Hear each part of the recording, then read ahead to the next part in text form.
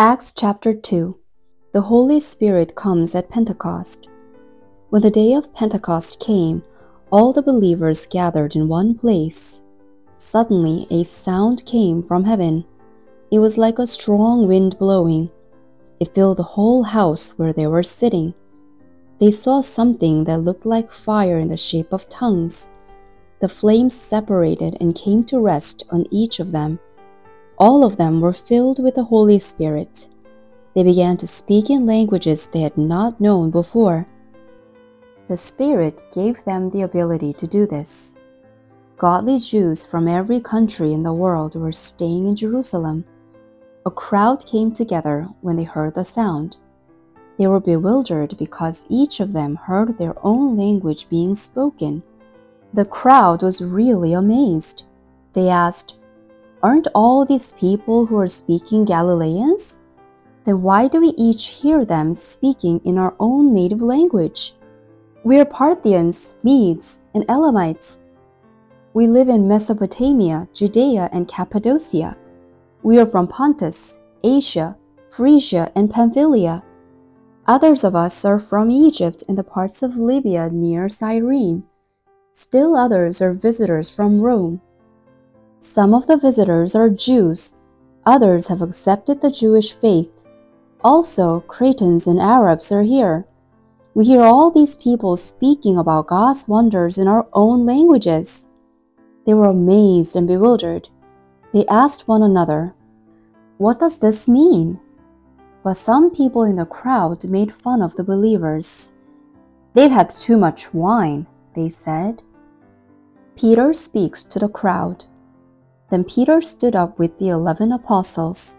In a loud voice, he spoke to the crowd. My fellow Jews, he said, let me explain this to you. All of you who live in Jerusalem, listen carefully to what I say. You think these people are drunk, but they aren't. It's only nine o'clock in the morning. No, here is what the prophet Joel meant. He said, in the last days, God says, I will pour out my Holy Spirit on all people. Your sons and daughters will prophesy. Your young men will see visions. Your old men will have dreams. In those days, I will pour out my Spirit on my servants. I will pour out my Spirit on both men and women. When I do, they will prophesy. I will show wonders in the heavens above I will show signs on the earth below. There will be blood and fire and clouds of smoke. The sun will become dark. The moon will turn red like blood. This will happen before the coming of the great and glorious day of the Lord. Everyone who calls on the name of the Lord will be saved. Joel chapter 2, verses 28 to 32. Fellow Israelites, listen to this. Jesus of Nazareth was a man who had God's approval. God did miracles, wonders, and signs among you through Jesus. You yourselves know this. Long ago, God planned that Jesus would be handed over to you. With the help of evil people, you put Jesus to death. You nailed him to the cross. But God raised him from the dead. He set him free from the suffering of death it wasn't possible for death to keep its hold on Jesus. David spoke about him. He said, I know that the Lord is always with me. Because he is at my right hand, I will always be secure. So my heart is glad, and joy is on my tongue. My whole body will be full of hope. You will not leave me in the place of the dead. You will not let your Holy One rot away. You will always show me the path that leads to life. You will fill me with joy when I am with you. Psalm Book 16, verses 8 to 11. Fellow Israelites, you can be sure that King David died. He was buried. His tomb is still here today. But David was a prophet. He knew that God had made a promise to him. God had promised that he would make someone in David's family line king after him. David saw what was coming, so he spoke about the Messiah rising from the dead. he said that the Messiah would not be left in the place of the dead. His body wouldn't rot in the ground. God has raised the same Jesus back to life. We are all witnesses of this. Jesus has been given a place of honor at the right hand of God. He has received the Holy Spirit from the Father.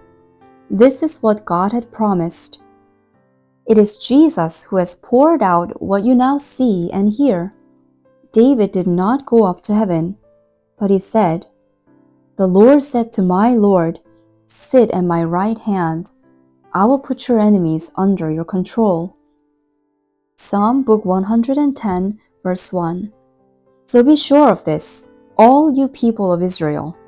You nailed Jesus to the cross, but God has made him both Lord and Messiah.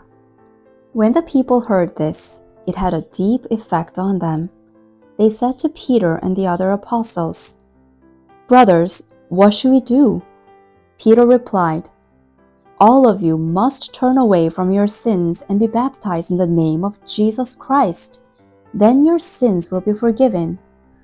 You will receive the gift of the Holy Spirit.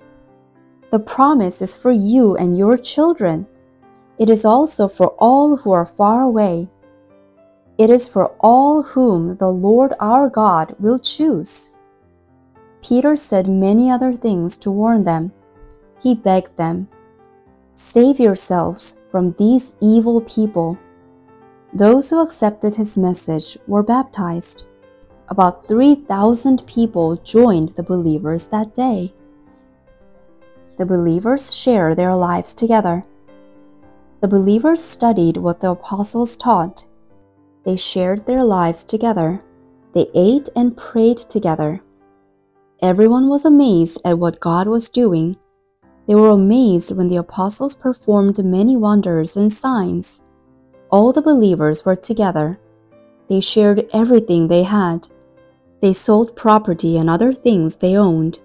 They gave to anyone who needed something. Every day, they met together in the temple courtyard. They ate meals together in their homes. Their hearts were glad and sincere. They praised God. They were respected by all the people. Every day, the Lord added to their group those who were being saved.